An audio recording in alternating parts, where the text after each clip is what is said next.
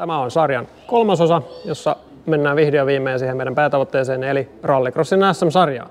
Ei tarvitse tulla kuivalla kelillä ajalla osakilpailuita. Ei se sitten niin hyvin mennytkään. Öljyäkin tuli ulos, öljykorkista ja öljyä tuli ulos. laskelmoidaan tai tehdään jotain päätöksiä ja perustelujen kanssa, niin Ei lisättävää. Ei lisättävää. kuorma-autolla, linja-autolla sitä edestä siellä. Ja saatiin sitten jonkun muassa, se sitten rupesi tuulemaan, niin